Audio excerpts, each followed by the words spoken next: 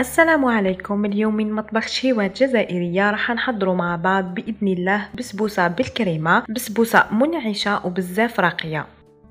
أول خطوة راح نحضر شربات اللي راح نسقي به البسبوسة تاعي اللي نحتاج فيه كأس من السكر العادي مع كأسين من الماء وراح نضيف عليهم شريحة ليمون وسعة الكأس اللي عبرت به المقادير 200 مليلتر. نحرك شوية الخليط تاعي وراح نحطه فوق نار تكون متوسطة وراح نخليه يغلي مدة 15 دقيقة. بعد ما وجد الشربات تاعي راح نجبدو بجيه ونروحو مع بعض نحضرو كريمة الليمون.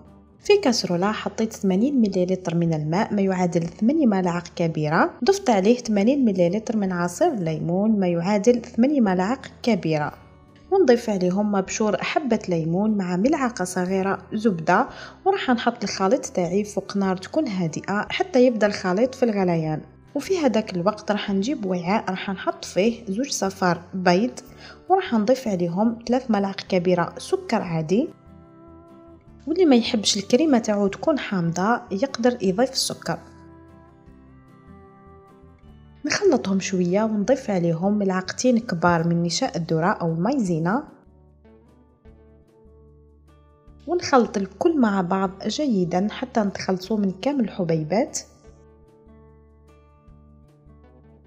ونبدأ نضيف الخليط تاعي. بعد ما غلا راح نضيفه على البيض غير بشوية ونخلط في نفس الوقت هكذا باش ما يطيبلناش البيض تاعنا.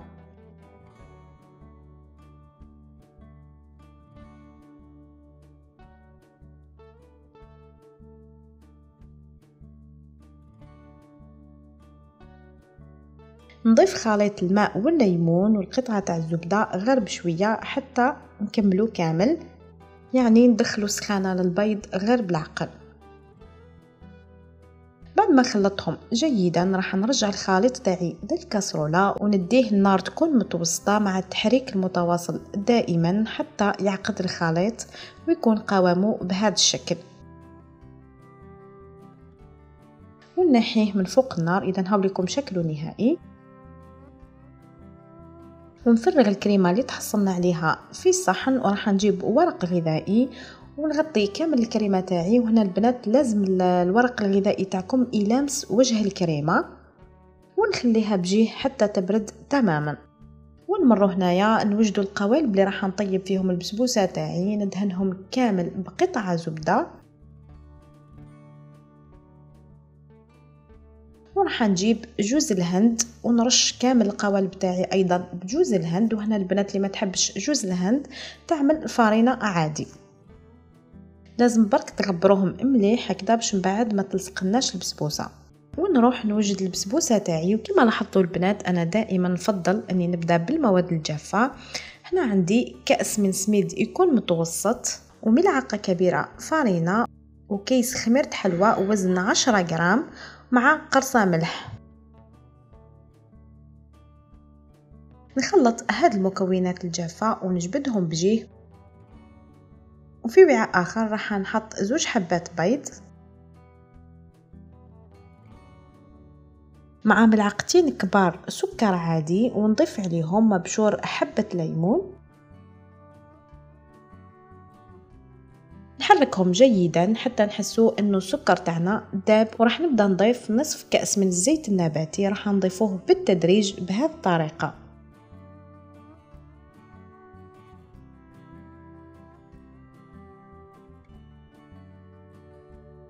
ونضيف أيضا ربع كاس حليب يكون دافي.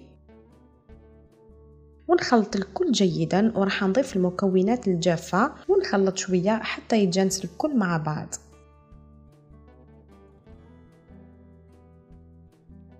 ونروح نفرغ الخليط تاعي في القوالب. هنا البنات ما تعمروش بزاف القوالب يعني خلوا لهم مكان باش يزيدوا يخمروا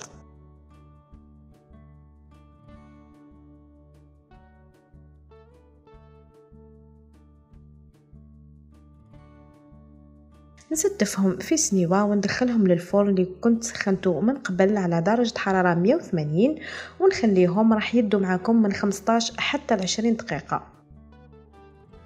بعد ما طابت البسبوسة ودات اللون البني راح نبدأ نسقيها بالشربات اللي كنا حضرناه. هنا البنات البسبوسة تكون سخونة والشربات لازم يكون بارد. نسقي كل حبة بملعقة كبيرة من الشربات ما تكترولهاش بزاف الشربات هاد النوعية تاع البسبوسة ما تحبش إنها تكون معسلة بزاف. ونجبد البسبوسة تاعي بجيه وراح نجيب وعاء راح نحط فيه 200 مليلتر كريمة سائلة.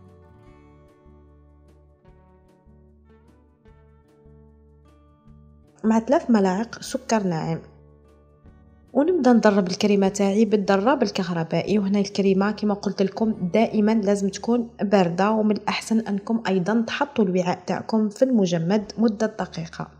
بعد ما تكافت الكريمة تاعي راح نجيب كريمة الليمون اللي كنا حضرناها ولازم تكون باردة. راح نخلطها بملعقة أو من الأحسن أنكم تخلطوها بالدراب الكهربائي هكذا باش نتخلصوا من كامل الحبيبات. ونخلطوها مع الكريمة السائلة ونزيد ندرب حتى نتخلص من كامل الحبيبات. ونكونوا تحصلنا على هاد لاموس يعني بزاف بنينة.